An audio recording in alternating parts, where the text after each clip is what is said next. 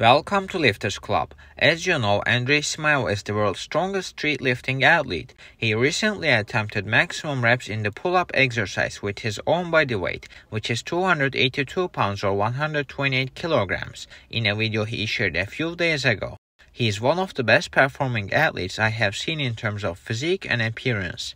He started with powerlifting and bodybuilding for sports, but later transitioned to street lifting and arm wrestling. In this pull-up set, he achieved an incredible rep count of exactly 50 reps. Although the last reps weren't as strict, it was still a very impressive performance.